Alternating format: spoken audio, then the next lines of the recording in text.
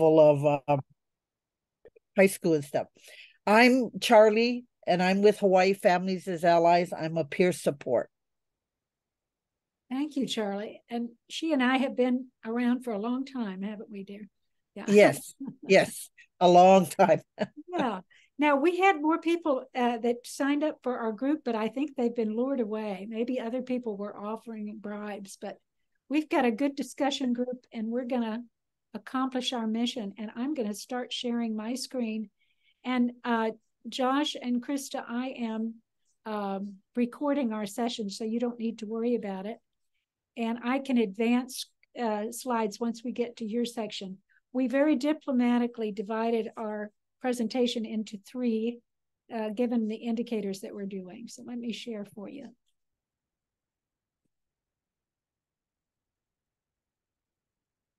And can you folks all see this, this slide? All righty. So we are looking at uh, graduation rates, dropout rates, and school age LRE, meaning least restrictive environment. And we got that nice introduction from Brick and Helen um, about what we're really trying to do today. We're getting feedback from you folks. And the main kind of feedback, we want you to know the stats. We want you to know where we are. Then we want you to look at how we're targeting improvement and see if you think those targets are accurate and reasonable. And finally, and mostly uh, more importantly, is um, let's see, we've got somebody in our waiting room. Who do we get? Hopefully, she's going to get to join us. Um, we're going to talk about improvement strategies, and that's where it, it's very important to try to come up with new ideas because we've been stuck in this um, area for a while. The one group that's showing improvement steadily is our school age LRE, but I'm sure Krista is going to talk to you about that. And Josh Hoppe is going to Hoppe is going to talk about dropout, but I'll start with graduation rates. And you will find on all the links that we've given you that we created some infographics to demystify what these indicators are. Because if you haven't participated in this process before, it's pretty dense. And we wanted to kind of level the floor of understanding. So these are available uh, in a variety of ways. And if you want to share them with families, that's a good thing to do to make it uh, more understandable to them. And you'll notice that there are also feedback forms that the MAC branch put together asking for your input. You can do it today or you can go back later. There's actually 17 indicators, and we're only discussing 10 today. And this group is only discussing three. But you can go back and put your two cents in about the other indicators as well. So um, we wanted to show you how they figure out what our graduation rate is. And this actually changed in school year 2020 and 21 because we started a new cycle then. You notice that our meeting is called the SPP APR. SPP is the six year plan, the state performance plan, but the APR is that annual report where you show the Office of Special Education Programs how you're doing. You're giving them a status update. And they changed the way to measure graduation in that date in school year 2021. And that's why we are going to sh- see shortly a baseline that begins not in that year, but the previous year, because graduation and dropout have lag data, meaning they're looking back one year in order to report. And there is a, uh, a report that has to go into the Office of Special Education Programs called an exit table. And it looks at all the kids that left uh, special education and it divides them into groups. And when we when we measure graduation, and Josh will show you when we get to uh, dropout, they're just looking at some of those groups and then coming up with a rate. So the the items that we're looking at when we uh, figure out our graduation rate is how many kids graduated with a regular diploma, how many received a certificate when they exited? How many exited because they reached the maximum age? And, and you all know that's your 22nd birthday in Hawaii. And how many dropped out? And from that, you take the kids that have the high school diploma and divide it by the bigger group, and that's where you come up with your rate. Are there any questions yet? You doing okay? So um, this slide looks pretty benign, but we're, we're going to do two things here. We're going to measure our performance, and we're also going to look at the targets because this is the only slide that has our targets in it. So you see, as we mentioned, that uh, FFY, that's a confuser, but it just means, I think it's physical. Do you know what it is, Josh? FFY. It's something federal federal fiscal year. And when they say FFY 20, it means 2021. Uh, and in 2021, we're looking back a year, and that's why we're looking at the graduation rate in 1920. Does that make sense? You have to kind of rip, go back. And our baseline that year was 72.24. And that actually wasn't a bad rate. It was just short of what the national average was. Uh, and I'd like you to think back to 1920. What happened this year that may have contributed to a higher graduation rate than you see for the next two years? Does anybody have an idea? COVID. COVID. And what happened in the fourth quarter of school year 1920? Nobody went to um in-person school. exactly. were all at home. Mm-hmm. That's right. And so, and you folks can all have your your uh, mic open if you want to, because we want you to jump in. But because we didn't really uh, have an assessment that year, uh, kids graduated fairly well. And then the next year we had the trauma of uh, kids being in school, being out of school, having a delay to the beginning of school.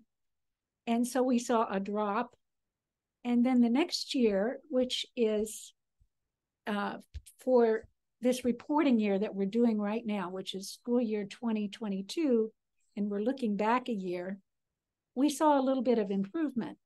But you see that red line at the top, and that is called your targets. And this process that the federal government and Congress put together is for states to show continuous improvement. So you can't rest on your laurels unless you're 100%. Uh, you have to try to strive to do better. And this is a fairly modest target uh, increase of 1% a year. But we did not make that uh, rate. And we need to, get your feedback on whether or not you think we should adjust the rate or whether we should keep our expectations high. What do you, what do you folks think?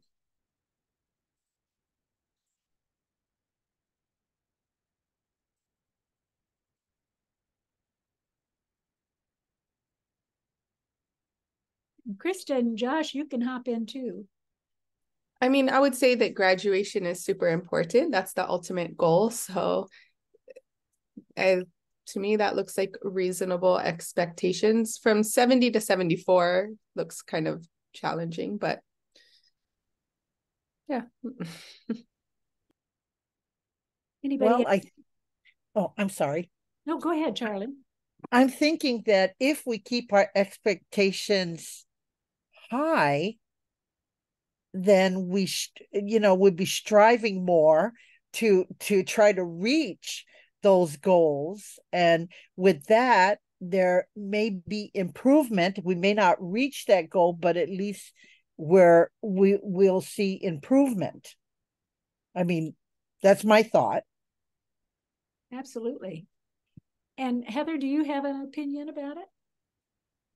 I agree with what Charlene said. I think considering the different factors that contribute to those outcomes, um, at, at least keeping the um, targets high creates opportunity for increased uh, improve performance. Well, I, I think we all agree with you folks that um, we need high expectations and we need a little pressure on the system to perform. So here, this is just a slide that's pretty busy, but it's showing all those categories uh, that are uh, part of the exit data categories. And we won't spend a lot of time on that, but that's where we start with our calculations. Here's a, here's a slide that the MAC branch put in to tell us not to look at the Arch data center to get our data. Have any of you been using that? I, I absolutely love it. Um, you can you can go on the DOE website and put in A, ARCH, ADH. And the reason that we can't use it for the purposes of the annual performance report is because they're collection, collecting graduation data on a different premise. They're looking at cohorts, which is the way that we used to do it, where you take a freshman year of kids and then you follow them for four years and you see who graduates in that group. And so if you want to compare apples to apples, you can go on Arch and you can compare a, a whole number of different uh, subgroups, not only kids with disabilities, but military kids, uh, kids who are English learners. And it will show you what the standard is, what the scores on the ESPA were for all kids and what they were for SPED kids. So it is helpful, but we're not using it in this example. And as a result, we really can't talk about comparing uh, our graduation rate for kids with disabilities to kids without. And we also can't do a, a, a, a just comparison with most states on the mainland because many states uh, have different graduation requirements. They might have three different uh, gra- uh, diplomas that you can get. Hawaii is fairly strict. Everybody has to meet that one criteria of 22 credits and algebra and the whole shebang. So um, we we are not like every other state, and therefore it's hard to compare us to another state. But this data on this slide is strictly from our uh, local data. And I wonder as you look at it, um, if there's, and, and I, I want to just explain that there are actually 14 different eligibility categories in IDEA we're not looking at developmental delay because that ends at age nine. Uh, and these groups that are on the screen are the ones that are the most populous. We've got a lot of low incidence categories like uh, kids who are deaf and kids who are speech delayed and vision, etc. But of the groups that are the largest groups, uh, does anything on this slide um, evoke a, a response? Does anything surprise you about it? I just have a clarifying question. This is graduation rates, meaning traditional high school diploma? Exactly. Mm-hmm. They met that criteria of getting the regular diploma.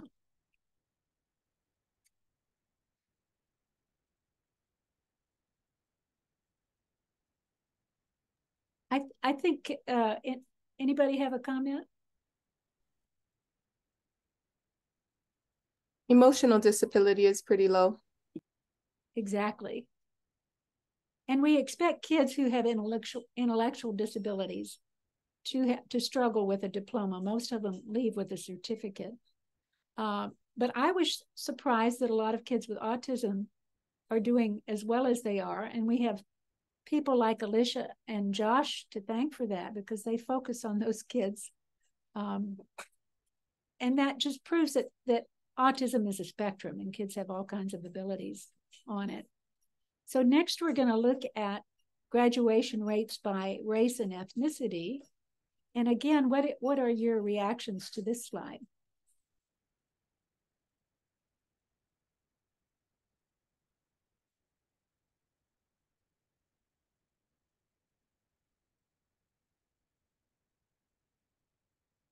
And uh, just to help you get a perspective, after the ethnicity or the, the group, we put the number of people that were in the group.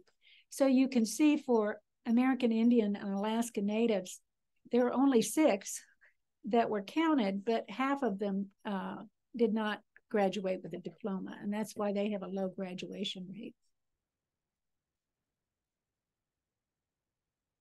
Now, I I always think about the stereotype that Asian kids are super smart and they graduate at the top of their class, and yet they uh, are not doing as well as some of the other groups.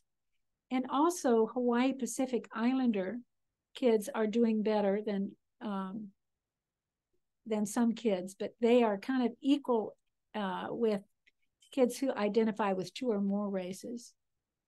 Um, these are imp- uh, rates that we need to improve, though, in order to get better scoring on our accountability. We're really not doing well uh, in graduation.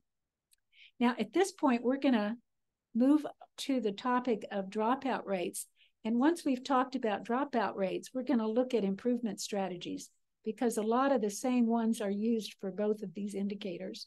So I'm going to let Josh take over at this point, and you just tickle me when you want me to advance the slide, Josh. okay, thank you, Susan. I apologize to everybody. I'm a little under the weather, so I might be wiping my nose and sniffling or, or coughing a little bit um, through this, but we'll get through it. Um, so indicator two is dropout, and I think Susan pretty much did most of the work for me by explaining all of this stuff with with indicator one because the rates are calculated pretty much the same. We're just switching out what's what's in the numerator. So rather than having um, students with disabilities who got a diploma as your numerator, we're switching it to students with disabilities who dropped out of high school. Um, and the rate is calculated the same way. And it's lag data, so it's the previous year, and all and all of that's the same. So I won't go any further uh, into the math of it because that's pretty much it. And we can go to the next slide, Susan these data I think are interesting, right? Remembering what we talked about last time about what happened um, at the end of FFY 2020, in that our rate for 2022, our target was 13%, but we did better than that during the, the pandemic. So I, I find, and then there was that pretty drastic upswing right after when kids are coming back on campus. And I think that that's a, you know, we had a pretty huge independent variable drop right there um, that might help explain it. But I was just wondering, like, what about this data? I mean, I guess kind of opening it up for discussions because I, I find looking at that interesting. Like, what might be the reasons potentially that dropout was less during the pandemic, but then increased when when kids came back?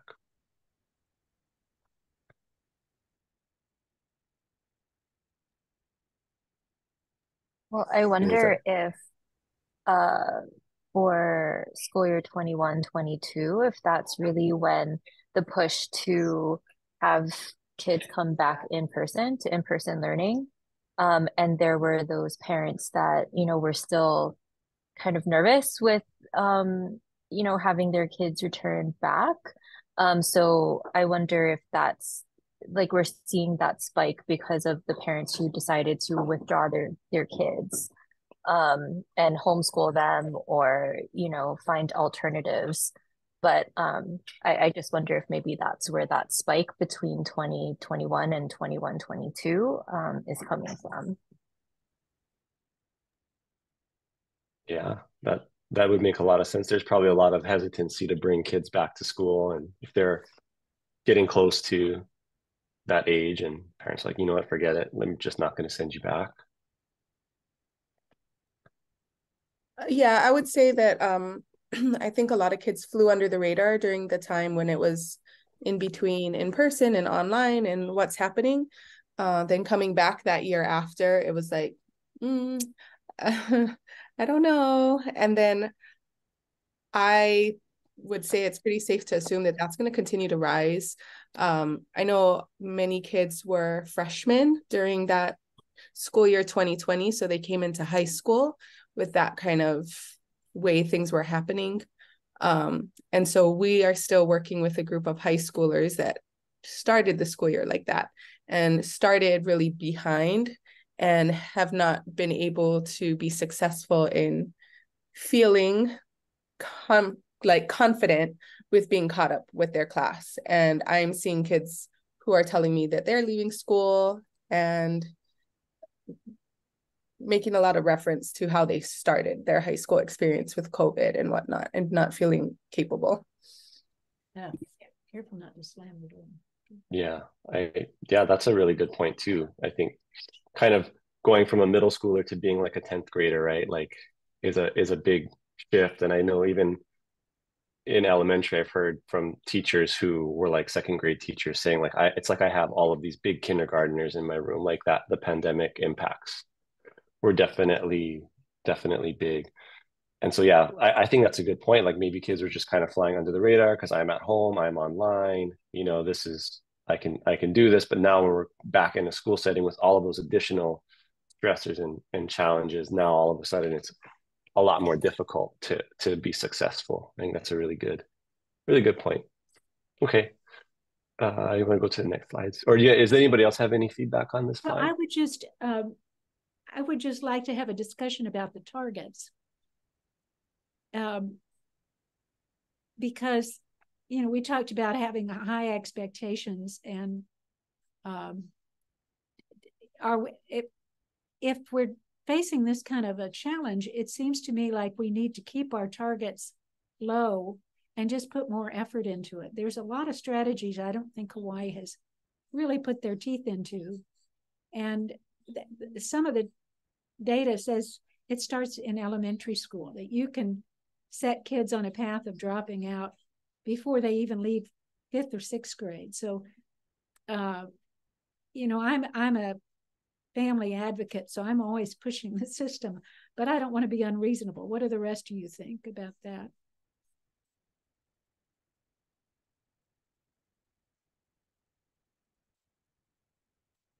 I think you have a good point there, Susan. Whoops. I um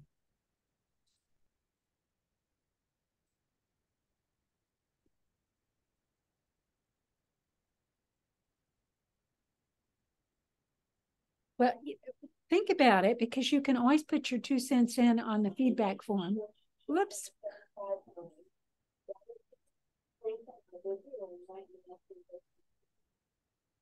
I, I would agree also to keep standards high. I'm also curious, and I know we're this is for this year, but I'm also curious to see what um, this year's data will show us. Um, because, you know, the first data point is really looking at baseline. Um, and so I'm curious, like, what the trend is going to be after um, this year, too, to see if it's continually increasing or if there's going to be another drop or kind of what that data will look like. Great.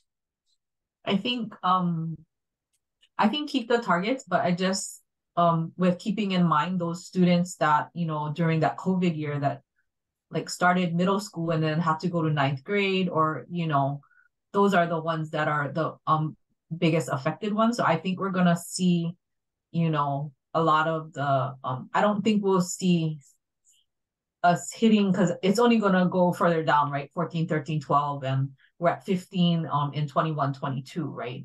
So I think the students that were really affected in that COVID year was those middle schoolers, right? So I think after that, we'll see that, you know, uptick, but then the the numbers go down as far as dropout, you know what I'm saying? Because those students in middle school, I think they had it really rough, or those sixth graders. They're they're the, I think they're the ones that are having the hardest time because they went from sixth to eighth grade. Those seventh graders went to ninth grade because of that one year, you know, staying at home. And then like not all schools are sixth, seventh, eighth, right? The middle school is some are intermediate, some are middle. So those that were in seventh grade now are ninth grade, starting in high school with um, you know, all those upperclassmen. So, you know, I think that takes a toll on all of um this as well. So Josh, would you like to keep moving? Yeah, sure. We can keep going. I, I agree too. Like we should keep the target, but that is a those are all good, really good points. Um, this slide again, this just highlights uh, the numbers that we're looking at um, and where they were across this uh, three year span. Um, so we don't need to get into that too much further, I don't think.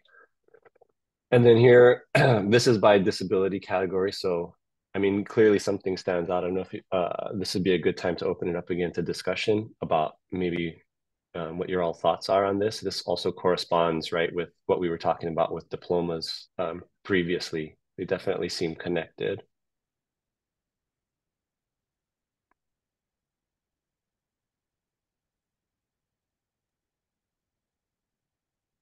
Um, I think it just kind of this data really points out that the pandemic really put a spotlight on mental health um, and the impact that it had on our students' mental health. And I think that can be kind of a, be seen in this graph um, by, you know, students with emotional uh, disabilities that had the highest, and I would, you know, dare to say drastically higher increase uh, or percentage than all other eligibility categories um, of dropout. Um, and, you know, you have to wonder why. Yeah, I think the two things that stand out is one, what Alicia had mentioned, but also the second is SLD. I think that one is really hard for me to comprehend because of the fact that we know that those students have average cognition. So if we're doing what we can within our classrooms to give students access to learning, um, our hope would that they would be included both academically and, and socially within the school, which would make them want to stay and not uh, drop out. So that one was a little bit surprising. Yeah. Any other thoughts on on uh, these numbers, these percentages?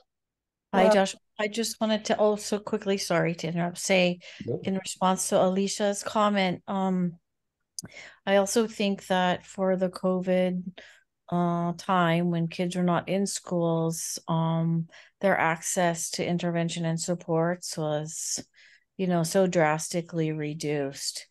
And um, yes, their own and their family needs increase around emotional health and Mm-hmm. then the uh, you know decrease of available support so it's just not a surprising outcome to me Yeah, it's kind of like the perfect storm to really stress stress kids out. And Yeah. and you know, on the flip side, stress out teachers and systems, right? Everybody was sort of stressed, and then those who are the most vulnerable are gonna, yeah you know, have the hardest time. And and that's where we it's good that we have this data to spotlight that that's a big concern.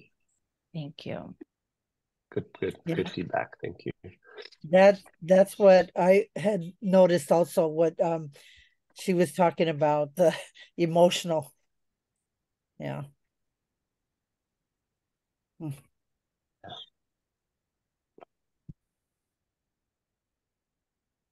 Okay, and then here, oh yeah, the the previous one was was just by by uh Right. population. Sorry. Yeah.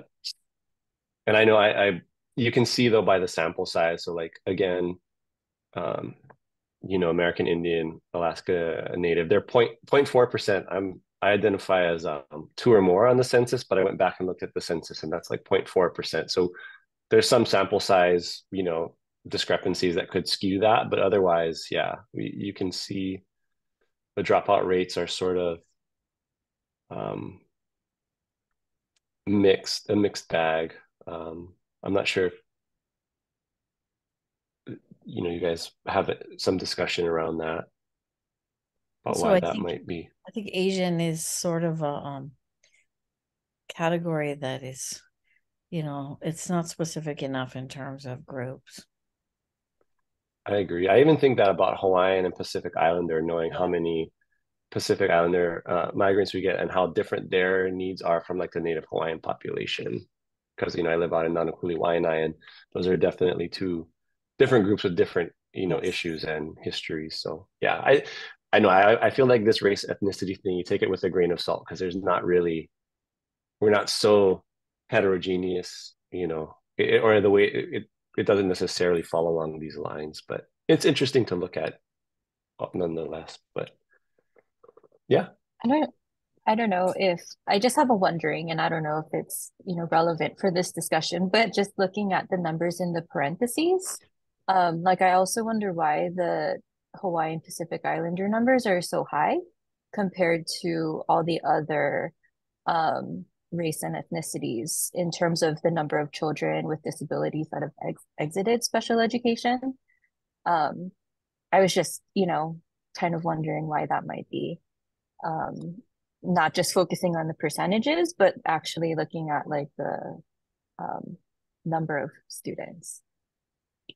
Mm-hmm, mm-hmm. The proportionality of representation in special education, period. Yeah. And I think that's a, a good question that isn't captured in this data. That's a very good point to make. Um, it's very cool. Yeah, I was going to say that speaks to the bigger, right? The disproportionality of it. Yeah, for sure. Yeah, great point. Um, okay. We can probably move on to strategies for improvement. I'm gonna I feel like Susan is a rock star in, in going over all this.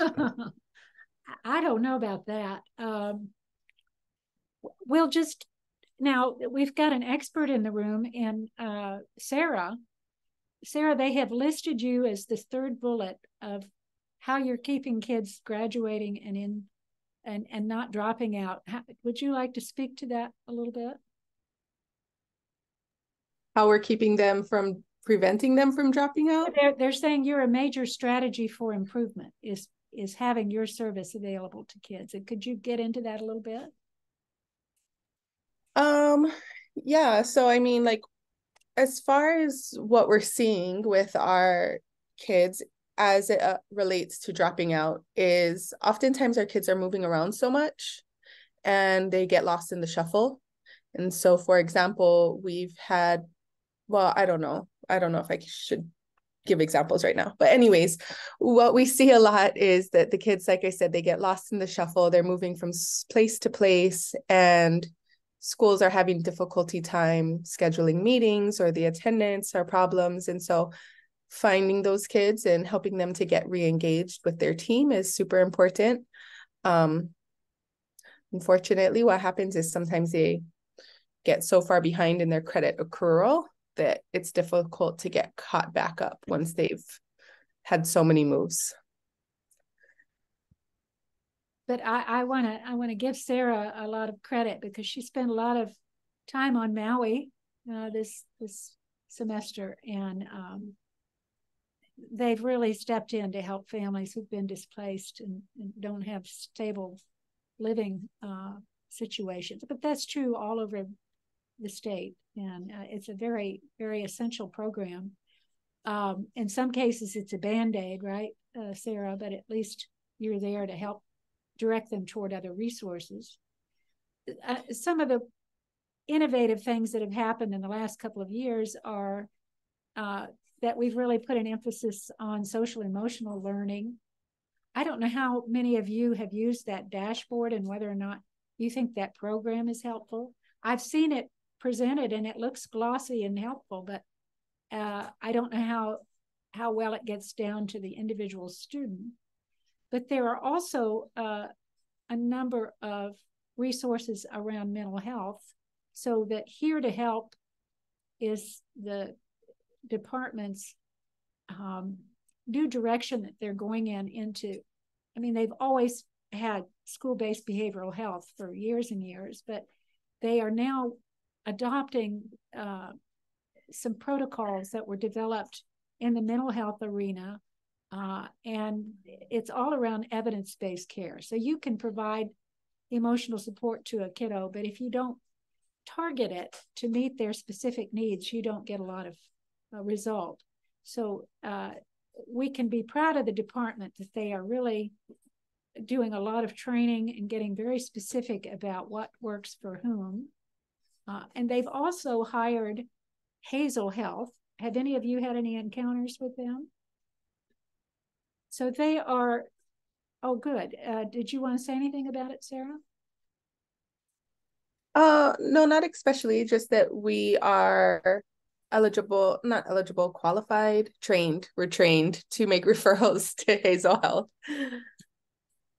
And and they are a combination of both local and mainland mental health professionals. Now we've gotten feedback in SEAC that the the mainland mental health professionals sometimes don't fit because they don't understand Hawaii culture that well. Uh, but they are able to give kids at least six sessions and then try to make a bridge to get them uh, referred to other sources of mental health support. So that's a good thing. Now, I skipped over number one, which is the, these are the heavy hitters. Uh, Hawaii multi-tiered uh, system of supports where you are you are in every classroom and you are paying attention to how well kids are performing, not only academically but uh, emotionally, if they have any physical needs, and if they have behavioral needs. And you are trying to get them uh, support early rather than waiting for them to fail in any one area. So even special ed kids uh, can receive HMTSS supports if it's in an area where they don't have an IEP goal because it's advancing uh, their their capacity and capability to keep in school and do well.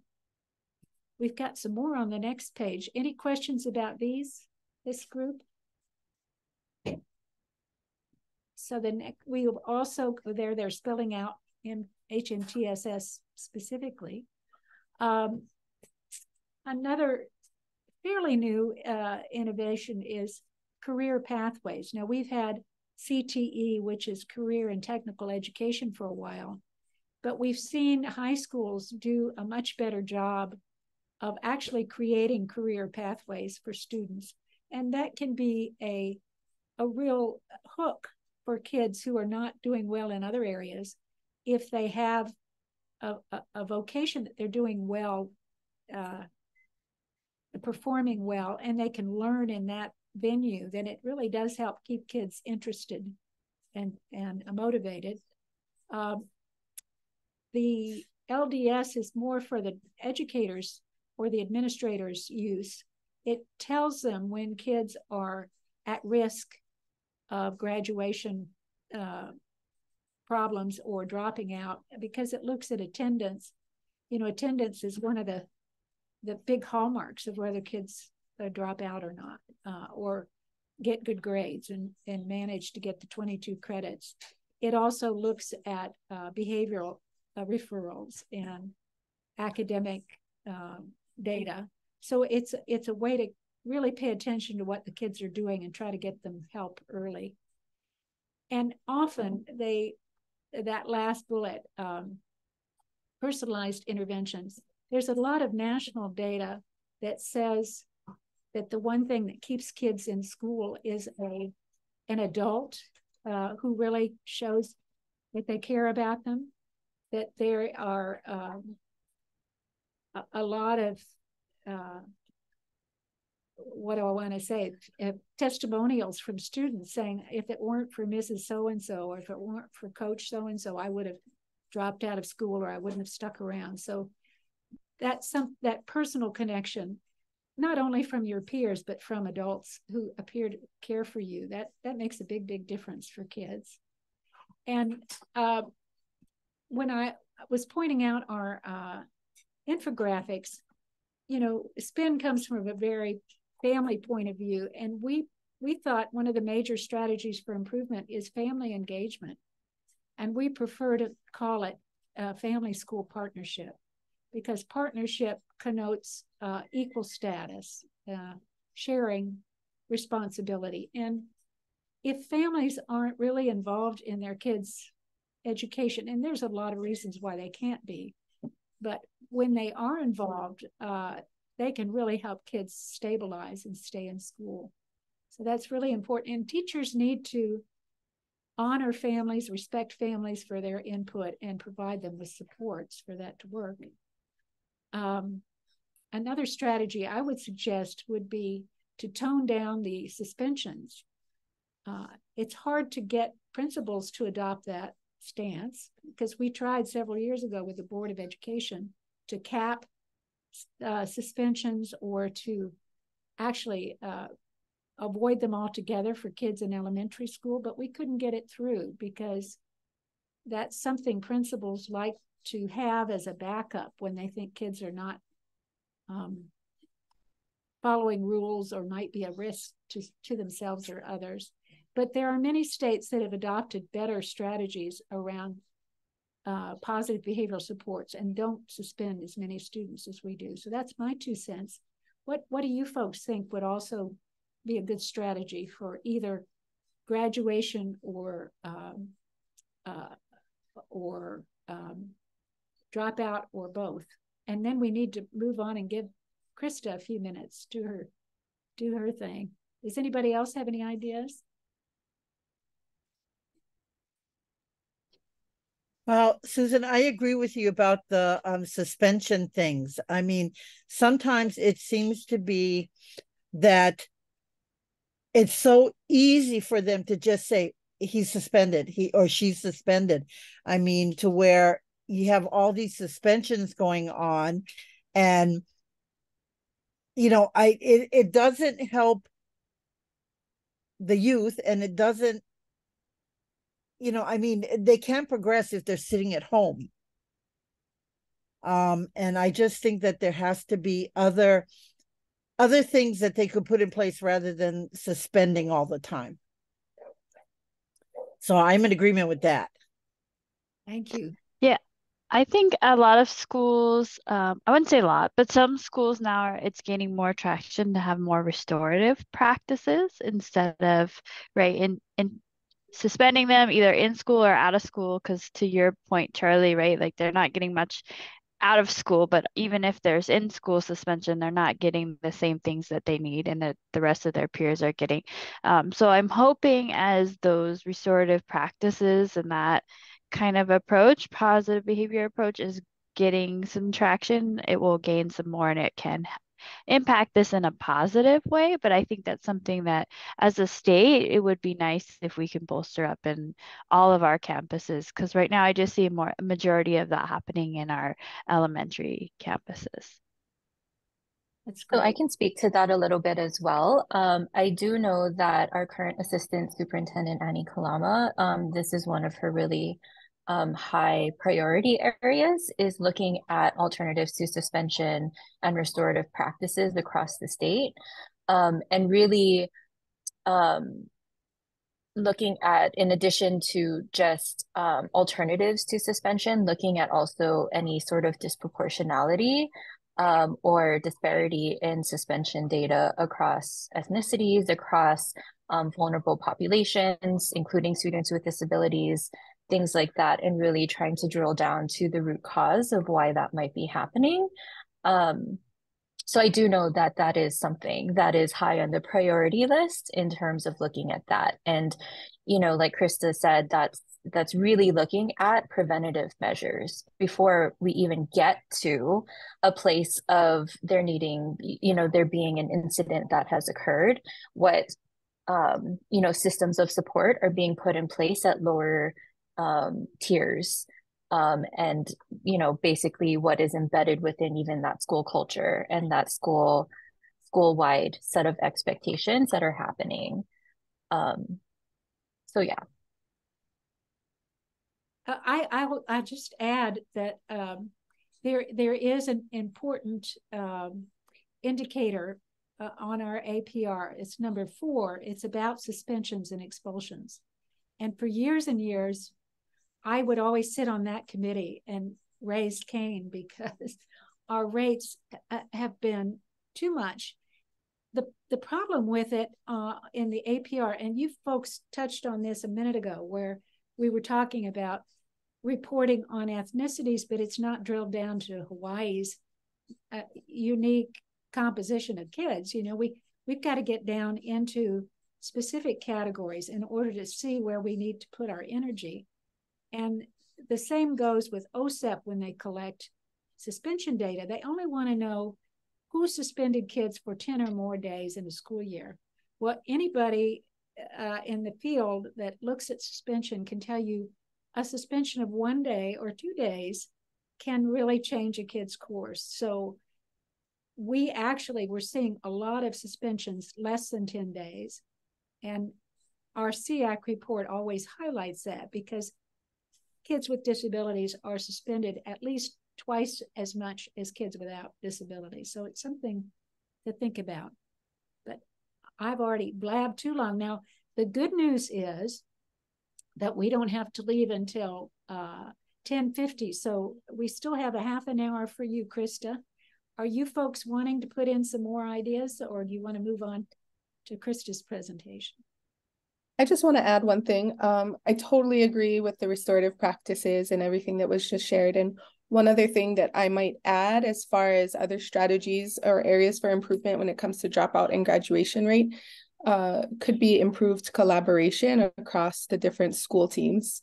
Um, there's a lot of um, overlap in different areas that exist with students with disabilities, whether like was mentioned that they could be migrant, they could be EL, they could be experiencing homelessness, and there might be different areas that each of us are working in individually. Um, but if there's a way to improve that collaboration and come together um, to all ultimately work towards the same goal as a team to reach that successful graduation or prevent dropout. That's really a And- great idea. Yeah.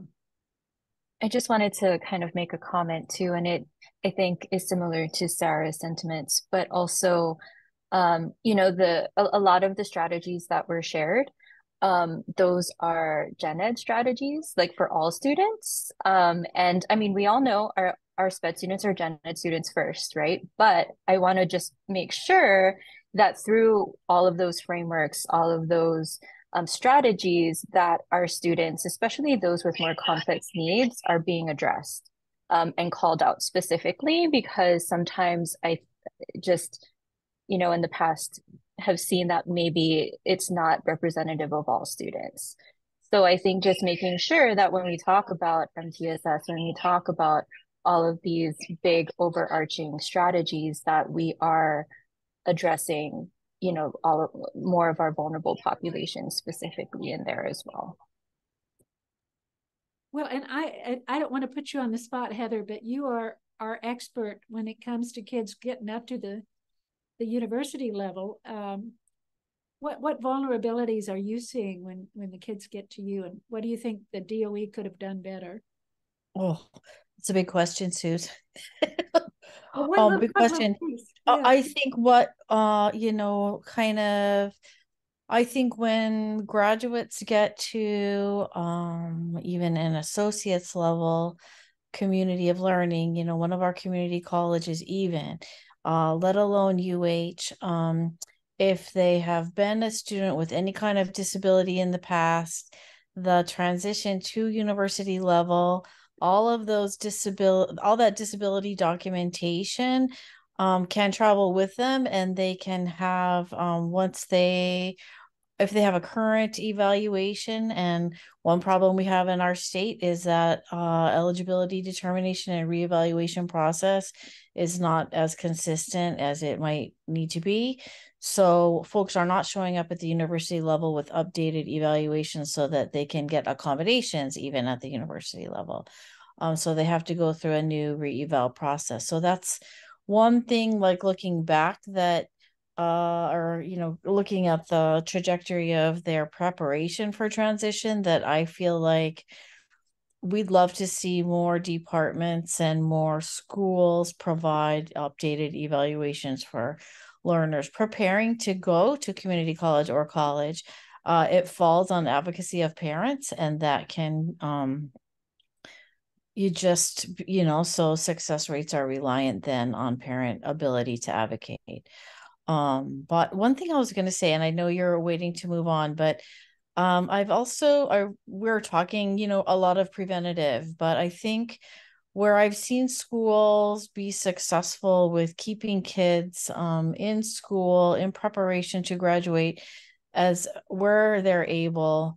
Um, and yet uh, I've seen schools to, you know, develop sort of alternative settings within a high school and all different kinds of um, approaches there kids with disabilities kids with ebd as a primary. Um, and i think that's something that takes money and staffing and planning but it is um, a very successful way that i've seen some mainland schools also be successful with um, retention and getting more kids to graduation you know, and reducing suspension and expulsion. That's really helpful. Long answer. Sorry. So Marlene, did you want to put any two cents in or you want to keep moving? I'm good. Thank you. Okay. But those those are wonderful ideas and uh, they're going to be very helpful to the MAC branch and the exceptional support branch as we move forward. So here we're going to get into least restrictive environment and we found the perfect person to present because she's as enthusiastic as almost anybody I know except maybe myself about the topic.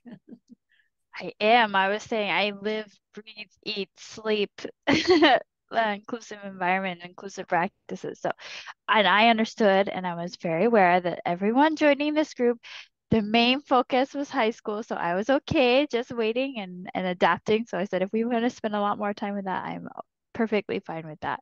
Um, but indicator five is our school aged LRE indicator. Um, and there are three parts to that indicator that we're looking at, which is um, A is the percentage of students within the gen ed setting for 80% more of the day. B is inside the regular or the gen ed class within less than 40% of the day. And the last one is the separate schools, residential facilities, homebound, and hospital placement. So those are the three parts uh, to indicator five.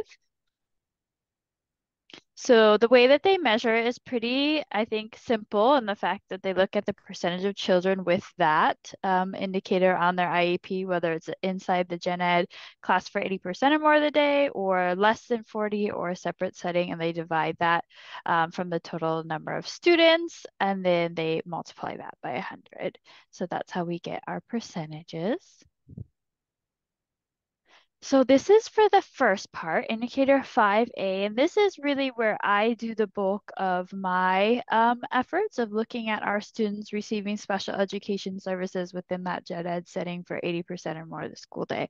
And you're always going to hear me say students receiving special education services because I don't, I like to remove the label of SPED students because like Alicia said, these are all of our students that we're jointly responsible for. They just receive special education services. So for indicator 5A, um, the baseline and the target was set in 2020, um, and that was 50.71%. I want to just give you guys some like quick historical data is in 2017, we're at 37%, which was drastically lower than this baseline data in 2020. Um, so we did make quite some gains there. Um, um, and the reason why I'm giving you that information is because we made such great gains in a couple years span um, that you see the next target was 53%, and then the one after that was 55%. Um, so in 2021, unfortunately, we did not meet that 53% target. We're at 52.54%. And then in 2022, um, 52.77%. Again, we did not meet that target, but to Susan's point, um, this is an indicator where we have seen progress in, is just unfortunately um, not to the rate that we would like it to. Um, progress. So you see at the bottom, there's additional baseline or additional targets. So the next one is 57% and it's going to increase like that by 2% every year. So um, I think just like with the other indicators Susan and Josh presented, we can have a discussion about um, whether or not we think these are great targets to keep, raise, lower expectations, keep expectations high. Um, because like I said, historically we have had an upswing, but we haven't had that great gain like we did um, from 2017 to 2020. So thoughts on the target? That 2% gain every year.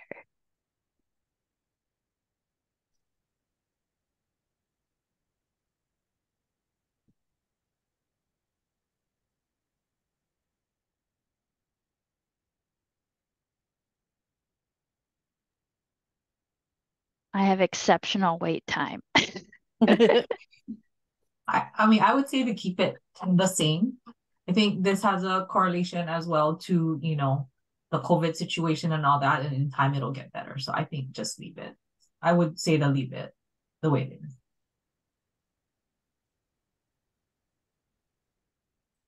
Any other thoughts? Heather, I see you unmuted. Oh, yeah, no. I had a question. Um, I just I live on Maui, and so I just know that um, uh, training around improving inclusion rates um, for some of our district happened just before COVID. A lot of intensive training, and um, Stetson was brought in to do uh, district training. And so I know that that contributes to an increase in those rates. You know, I'm always curious because I, uh, prior to working at the university, I was a teacher of students with mild to moderate disabilities for 25 years. And so I always want to know about learning outcomes as we understand, you know, the these momentums. For sure. Yeah. I mean, we do have data both within the state, but then also there's evidence um, throughout the US that it positively impacts um, learning outcomes for students to be included within that gen ed setting for a number of reasons, right? They get that academic language, the vocabulary, those peer models, but also typically the expectations are higher within the gen ed setting rather than a remedial approach that often happens when students are pulled out, right? So when we keep that remedial approach, we're lowering our expectations, which can sometimes create our own natural achievement gap for students with disabilities especially for those students um, that we've talked about that have average cognition, um, where they should be able to uh, achieve just like their non-disabled peers. So thinking about they have average cognition, if we are giving them more remedial approach, then sometimes we're creating our own achievement gap. Um, so to your point in the very beginning where you mentioned Stetson came in before the pandemic, yes, and we'll talk about that like a little bit deeper when we talk about the things that we've done.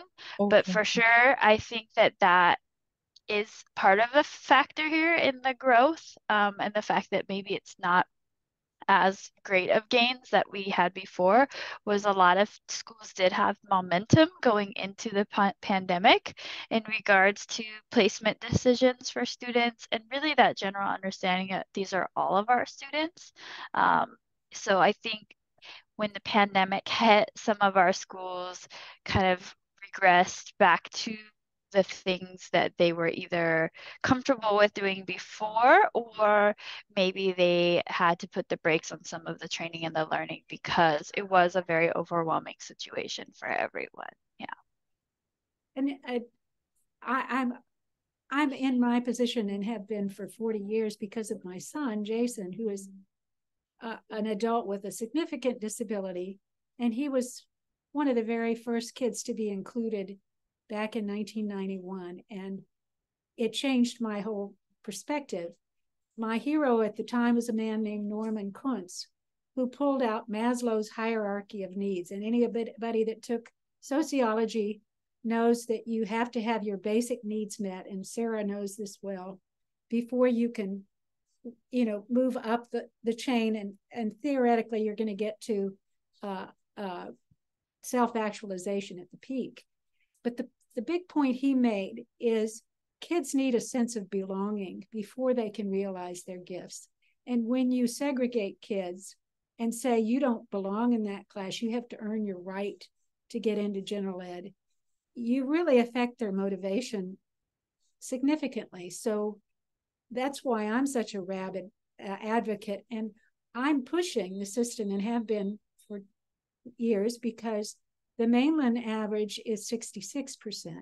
And there are some states that do as well as almost 100% of their kids with disabilities. So uh, I think Krista has done a fabulous job, but we have to push the rest of the state to recognize that this is such an important thing for kids' futures, you know, to belong to their environment, belong to their community. So that's my soapbox thank you thank you for in you're like you're connecting to things i'm going to chat about later so that's awesome um, i think to everyone's point, right, keeping our expectations high is really important. Um, it is helpful when we go to schools and we share this information that this is where you're at, this is where our goal is, and then we do celebrate like to Susan's point, what we've done, not just me, but what all of us have done since 2017, but also bring back to the reality of we are still significantly below the national average, right? So we still want to aim to uh, continue that growth and make sure all of our students have that basic human need met with that sense of belonging. All right. So I think we can move to the next slide. Yeah. So, oh, 5B. Yeah, there we go. That's okay. We're excited. Um, so 5B is within um, the regular or gen ed class less than 40% of the day. And that this one we would like to be lowered, but you can see that there is um, a slight increase in that. So the baseline was in 2020, 16.3%. In 2021, we wanted it to be at 15.8 it went up to 16.2. I guess it decreased, but it still is below the target. Um, and then it went back up to 16.3% for 2022. Um, so again, I think we've kind of talked about some of the trends that have happened um, within those years and that period of time. Um, so thinking about this target, it does show like a 0.5% right uh, decrease goal for that indicator. Um, thoughts on whether or not you think that's appropriate uh, seems to be we're not too far off from that target, but we have some work to do with this one as well. So any thoughts on this uh, target?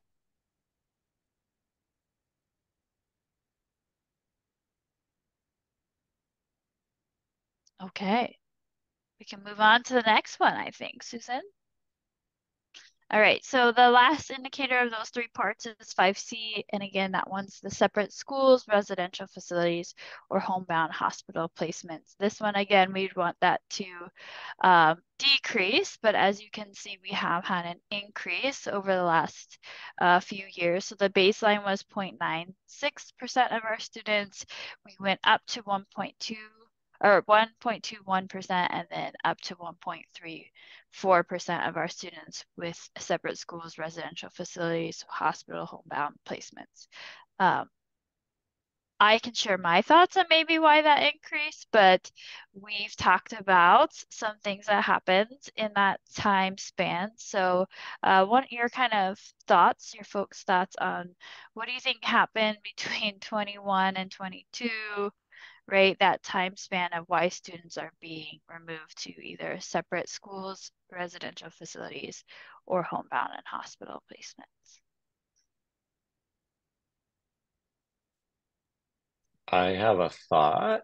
Well, I've, I've been in contact with um, someone at Kaiser who does ABA authorizations and um, one of the pain points has been transitioning kids back to school because during the pandemic, they were getting full time ABA services at home.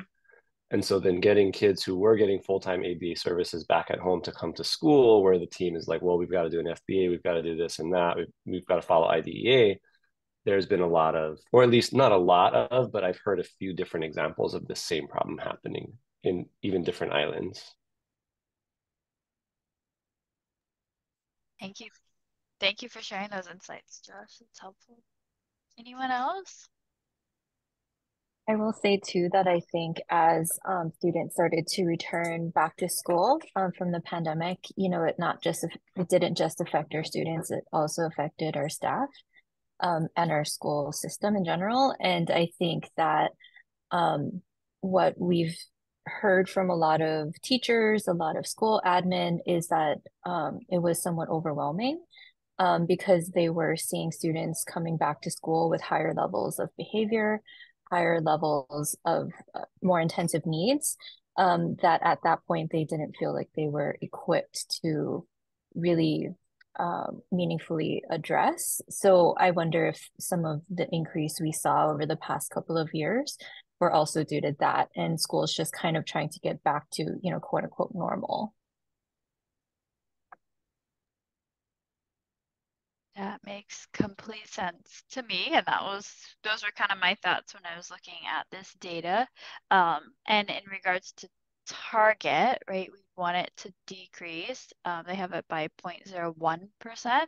Um, given what you know we experienced as a nation, but as a state um, recently, what are your thoughts on that target? Keeping that target, raising, lowering?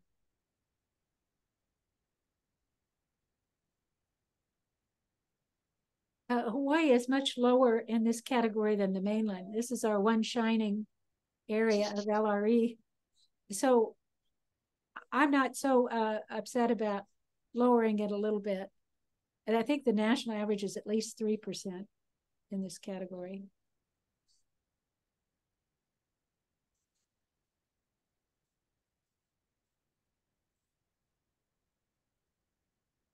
Now, I'll just say that we have about 10 minutes left just to get us motivated. Oh boy, okay.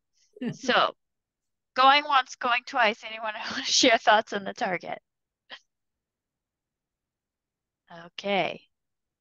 All right.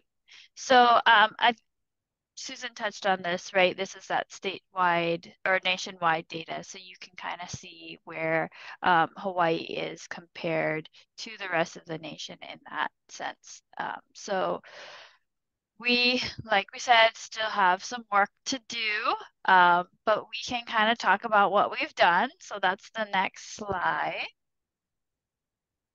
So some of the things that we have done for this specific indicator, but like I said, um, we focus on all three, but really what we want to do is increase the percentage of our students in the gen ed setting for 80% or more of the school day, um, which does have an impact on the rest, the other two, B and C. Um, so what we did, we started in 2017, 2018 with that partnership with Stetson and Associates. So to Heather's point, we brought them in.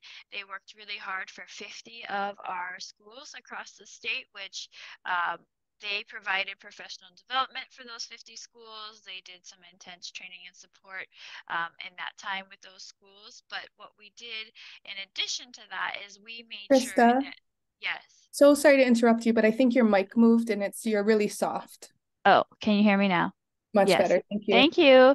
Okay. So Stetson worked with 50 schools. And what we had them do, in addition to that, in the time that they were working with us, is we made sure that they trained up the complex area and the state teams to be able to provide the same professional development they provided for those 50 schools across the whole state. So what we have is we have a professional learning network is what we call it of our inclusive practices leads for the complex areas where they um, meet with us and we talk about um, how we're going to sustain change on campuses, how we're going to look at data for individual campuses. So the two main data points we look at are LRE. And then also, as Heather mentioned, we look at those outcomes, right? So we also look at our achievement gap um, for the schools. So we have them look at that and kind of determine what level of support and also how and when they're going to address the needs of the individual schools in their complex area.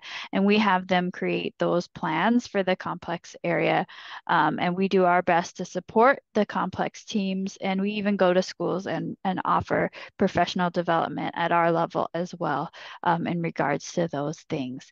We also make sure that we have opportunities, learning opportunities that are available statewide that are not just um, exclusive to our complex area team. So we did did have um, a statewide conference in 2021 where we allowed anyone to attend that conference and we provided them um, either stipends or reimbursements because we opened it up to EAs as well.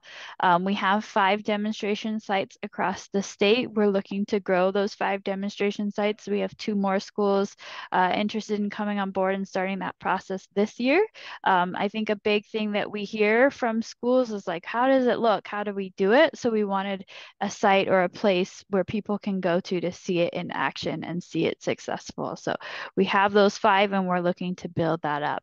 Um, we at the state office, we provide tier support um, to our complex area team. So we look at the complex area data in regards to the number of schools that they've supported with inclusive practices. We look at the complex area least restrictive environment data and we look at the complex area um, achievement gap.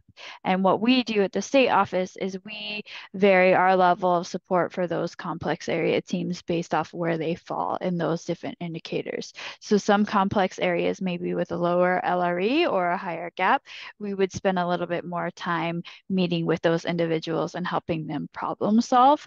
Um, and then um, vice versa with the other ones, if they have a higher, higher um, LRE and maybe a little bit lower gap, they wouldn't have as much support as other ones. But we're always here here to help anyone that needs it.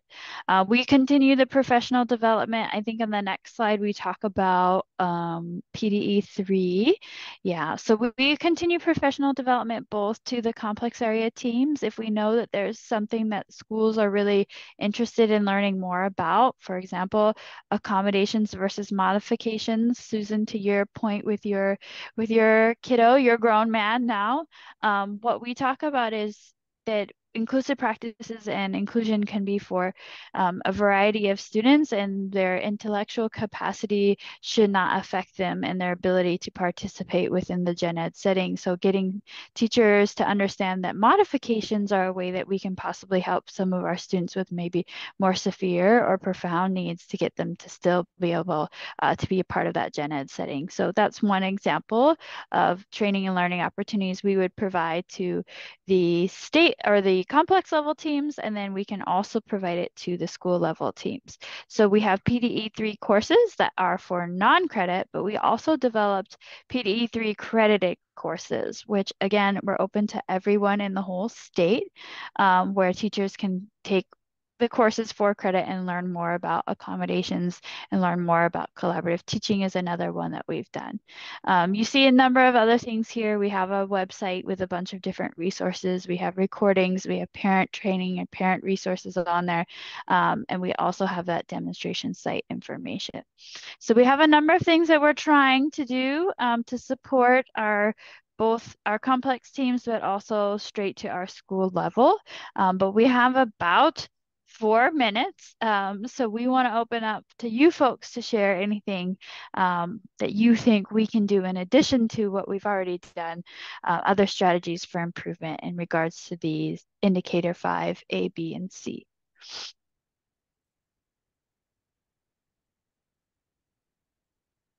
Any thoughts? Well, my thought uh, is that often the decision whether to to really put the effort into inclusion is voluntary. And you will have some really dedicated souls at a class maybe a grade that will do it. And then the next year the kid moves up and he can't find that same support. There really needs to be consistency. You can't give inclusion and then take it away. Uh, so there has to be a commitment from a complex area soup that we're going to take this all the way forward. Um, my general just chime in feedback too is that like it's great to have the PD for the teachers and stuff, but it's a school climate, like including students, you know, even when they need specialized interventions and supports, like having them, it's not just about what classroom they're in and what their IEP LRE is. It's really about how they're into how that students with disabilities are integrated into the whole school, how they're included across the day and in activities and are you in a separate PE class or are you in PE classes with your peers? You know, are you going to resources with your peers? Um, so I, I, think that you know it's more than just the class and what's in the IEP LRE. It's really like you said, like Krista said, it's inclusive practices, right? It's not just LRE on the IEP. So I think that's you know just general. For sure. And I we, we do have a needs assessment that we have campuses conduct and they look at all of those factors, even parents, right? Parent involvement, parent understanding on all of that. Um, but it, it goes back to Susan, your point um, with complex area superintendents, but also principals and all of that. So um, getting schools to see the importance of adopting this process in its entirety, where we look at all of those factors, um, Josh, to your point. So it is, those components are on our radar. Um, we just, we gotta have, gotta have someone to back up that, that drive and that effort. Anyone else? Oh, you're muted, Susan. We got 60 seconds. Yes, I can uh, uh we can point you toward the feedback form if you if you come up with an idea later. Uh, yes. And thank you so much. This has been a really rich discussion and we appreciate you so much. Yes, thank you for your participation. Thank you. Thank Great you. everyone. Do we have the link to the feedback form? I will oh uh, I will. We can put it in the main chat when yeah. we go back to the um, main room. I'll Thanks, put it in Marlene. there. Thank You're you. Thank you. Okay. Bye. Bye bye.